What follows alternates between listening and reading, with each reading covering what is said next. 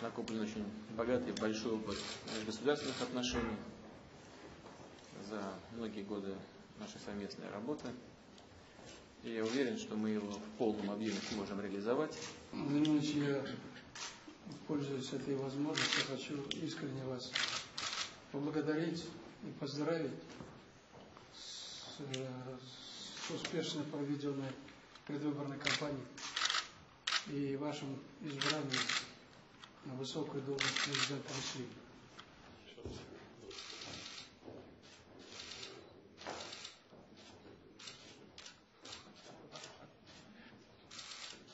знаете, еще на что я обратил внимание в последнее время и что радует? Это не только то, что у нас развиваются отношения по очень многим направлениям, а здесь не только экономика, но и военное сотрудничество. У нас база полноценная функционирует в Таджикистане. Я в общем, благодарю вам за поддержку и работы.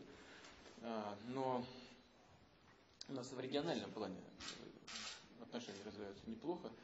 Более чем 70 субъектов Российской Федерации поддерживают уже отношения с, со своими партнерами, коллегами в Таджикистане. Наших учебных заведений нашей столице. Вот готовится третий открытый филиал.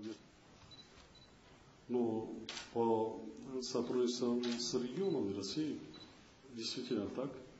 И это идет, и динамично развивается. А, часто посещают и наши, и представители региона нашей, нашей стране.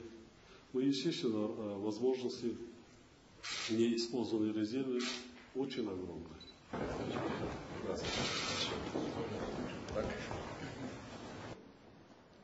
За последнее время мы немало сделали в развитии двухсторонних связей.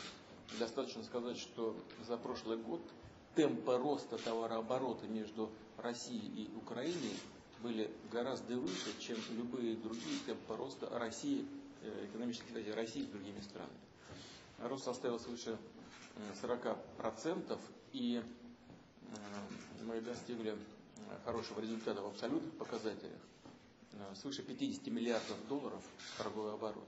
Мы возлагаем большие надежды, что дальнейшая наша работа и наши совместные усилия в регионе Восточной Европы и на азиатском пространстве. Вот, э, они э, будут интересны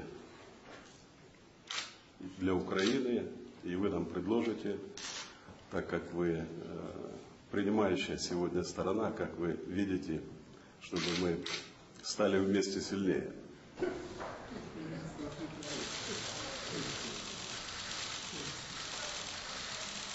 Я уверен, что у нас будет поводов для того, чтобы продолжить общение, наше личное, э, и для того, чтобы отношения между Беларусью и Россией укреплялись, развивались на благо двух народов, чтобы те интеграционные процессы, к которым мы причастны и которыми мы занимались последние годы, также приносили плоды для развития наших стран и наших э, народов. Я хочу вас поблагодарить за все то, что мы сделали действительно не только для наших народов Беларуси и России за истекший период. Это тоже сейчас главы государства об этом говорили.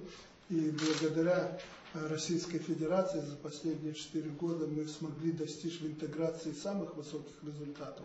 Мы уже не раз вам об этом говорили, так, э, в закрытом формате.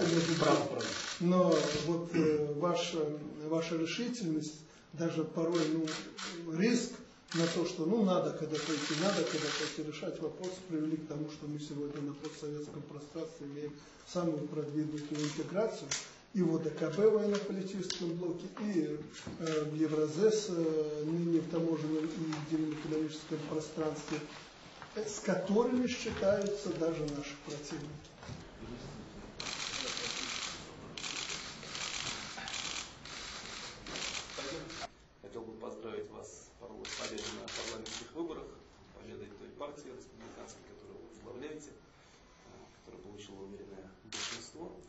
Желаю, чтобы это было необходимым условием для поступательного э, и э, продуктивного Армении как государства, вот, ну и, конечно, решение большого количества социально-экономических проблем, а, которые мы перед собой поставили.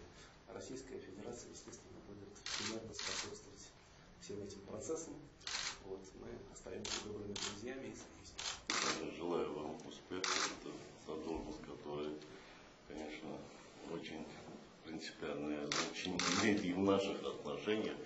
Я уверен, что и в этом качестве мы продолжим укреплять дружбу между нашими странами. Мы так настроены.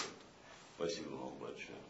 Я рад приветствовать всех вас на неформальном саммите Совета глав государств СНГ. Признателен, что вы все откликнулись конструктивно на наше приглашение приехать в Москву и смогли найти время для этого. Открывая нашу встречу, хочу вновь подчеркнуть, что страны Содружества – наши самые близкие, в прямом смысле этого слова, стратегические партнеры. Буквально все аспекты взаимодействия с вами для нашей страны жизненно важны.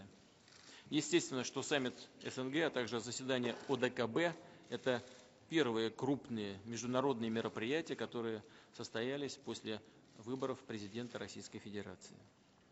Нас всех действительно многое объединяет, прежде всего прочные традиции дружбы и добрососедства наших народов. У нас общее прошлое, причем прошлое многовековое, а в недавней истории всех нас, безусловно, объединяет и Великая Отечественная война, победа в этой войне, годовщину которой мы недавно отмечали.